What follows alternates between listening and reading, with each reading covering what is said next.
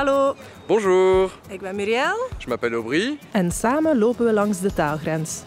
Muriel avec sa caméra. Aubry met zijn vragen.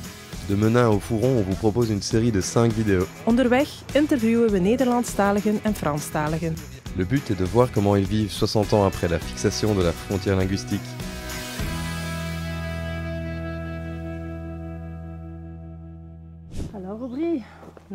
Nous allons arriver au Jardin Enchanté. La particularité, c'est que ce jardin est situé à cheval entre Jodong et Oegaarden. In deze openlucht-tentoonstelling hoor je Frans en Nederlands spreken.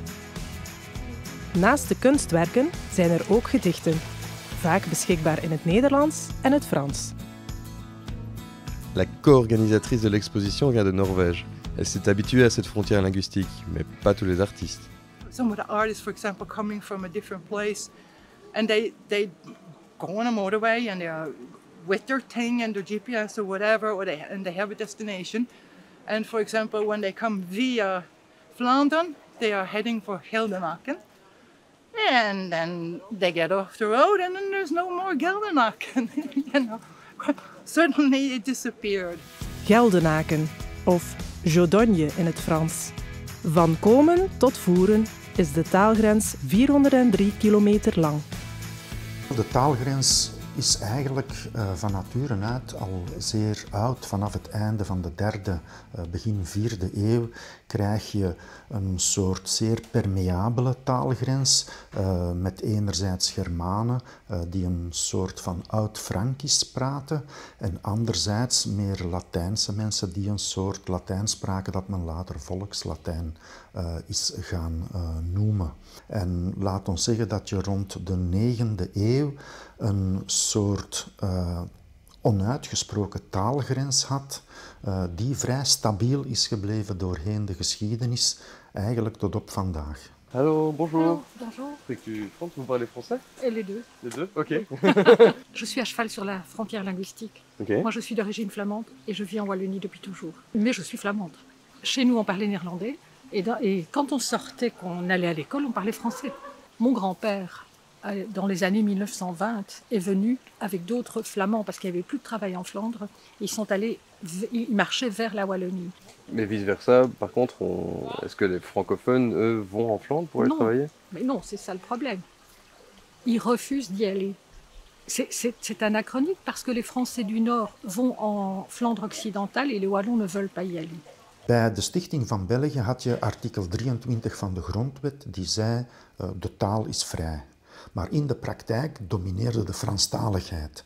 En de Franstaligen vonden dat niet meer dan logisch. Die zeiden als di- dit nieuwe, jonge, kleine België een rol wil spelen in de beschaving, moet het de taal spreken dat de beschaving is. Het Frans was toen de lingua franca internationaal, zoals dat vandaag het Engels geworden is. Maar die Vlaamse beweging die zei nee, als we allemaal alleen Frans spreken, dan kunnen we ons niet onderscheiden van het grote boze Frankrijk. Dus eigenlijk het Vlaamse feit is wat België apart en uniek maakt. Rond die twee ja, verschillende zienswijzen krijg je dan een spanning waarbij die Vlaamse beweging eerst opteert voor die tweetaligheid en dan radicaliseert en opteert voor het territorialiteitsbeginsel. En anderzijds een Waalse beweging die zegt wij willen ons tegen de invasie en de pletwals van Vlamingen beschermen en wij willen ook een grens. Wat gaat nog veranderen, denkt u, in die re- regio hier langs de taalgrens? weet ik echt niet. Ik denk dat de tijd is gekomen dat wij apart leven. Direction la gare de Racourt, qui était en fait avant en Wallonie, mais à cause de la fixation de la frontière linguistique, maintenant elle se trouve en Flandre, à London. Dag Aubry, bienvenue à la gare de Racourt. Ici, on est où? On est en Ici, Flandre ou- on est en Flandre depuis 1963. Avant, on était en Wallonie. On est à la gare de Racourt. Racourt est un village en Wallonie. Maar als we de taalgrens hebben getrokken, is station van Racourt plots in Landen beland. En is Landen, wat voorheen ook Franstalig was, terug bij Vlaams-Brabant. La frontière linguistique, la toute première fois qu'elle a été fixée, c'était en 1878. Et on s'est rendu compte qu'il y avait ce qu'on appelait les communes égarées, par exemple une commune située en Flandre qui était essentiellement francophone. On a essayé de rectifier la situation en 1921, une première fois, en instaurant une frontière, ce qu'on a appelé à géométrie variable, une espèce de frontière mobile. Euh, basée sur les recensements. Et finalement, en 1962-63, on a fixé une frontière, mais en gardant dans la loi le principe d'une euh, frontière potentiellement mouvante. Seulement, dès que les lois ont été votées, les néerlandophones ont fait comprendre que puisqu'il fallait une majorité au, Parlement pour voter une loi qui modifierait la, frontière linguistique, ils euh, refuseraient à jamais de modifier les lois de 1962-1963. En ik heb samen met Hilde, mijn echtgenote, in 1988 het station gekocht. We kwamen hier aan en dan en français een coup de foudre. En achteraan in de tuin is zo dus de taalgrens. Oké, okay. on y va? On y va, comme vous voulez. Ik denk, maar het zal bij benadering zijn, dat de taalgrens hier ergens loopt. Hier zo.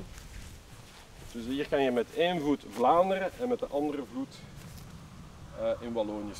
En 1970, euh, lors de la première réforme de l'État, ce, ce, principe des communes à facilité et de la frontière linguistique d'une manière générale a été inscrit dans la Constitution et on a même décidé à ce moment-là qu'il fallait une loi à majorité spéciale. C'est ce que l'on a appelé le bétonnage de la frontière linguistique. Il y a des défis. Ce sont des petits défis pratiques qui font rire après certains temps, mais qui sont quand même un peu ridicules.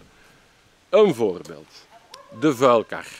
Ik heb het eens geteld, maar ik geloof dat hier negen vuilkarren komen. Dan denk ik van, ja, kunnen we dat nu niet regelen dat één vuilkar komt? Maar dan hebben we nog een ander leuk verhaal en dat is het, het water en de nutsleidingen. Ons water, hetgeen dat uit de kraan komt, le robinet, dat komt van de toren van Walshouten, dat is Vlaanderen. Dat water loopt hier over de straat en dan in één keer wordt het netwerk Wallonië. En dan wordt dat water, dat Vlaams water, dat wordt Waals water. En wij zijn ze dus aangesloten achter de kraan waar dat Wallonië zit en wij krijgen ons water van Wallonië. Laatste verhaaltje natuurlijk, dat is dan uh, de, de kabel-tv. Af en toe komen er ook mensen op vakantie en dan uh, zeggen ze, ja, er is toch wel een klein probleempje, hè, joh. Ik zeg, ja, welk probleempje? Ja, we hebben VTM niet op tv. Ik zeg, ja, ja, maar uh, de tv komt van Wallonië en daar is dat RTL TVI en daar hebben ze VTM niet. Le surrealisme à la Belge. Ontdek andere leuke verhalen in de tweede aflevering over de faciliteitengemeente.